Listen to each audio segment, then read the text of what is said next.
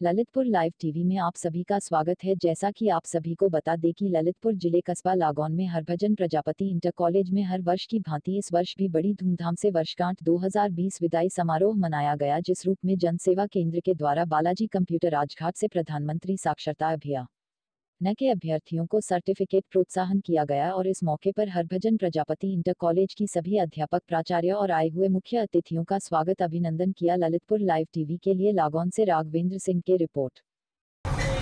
जोरदार तालियाँ एक बार और जोरदार तालियाँ।